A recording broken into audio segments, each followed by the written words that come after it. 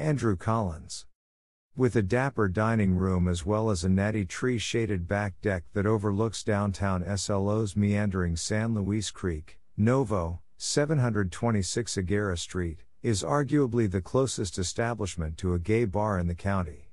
It's a full service restaurant, to be sure, but later in the evening on Fridays and Saturdays there's dancing to DJs, and the crowd is very mixed, drawing plenty of LGBT folks. Novo also has been a huge supporter of San Luis Obispo gay pride for years as well. For dining, this lively and sophisticated spot serves brunch, lunch, and dinner and specializes in well crafted regional cuisine with international influences. The owners also operate Robins in Cambria, below, and Luna Red, around the corner in SLO.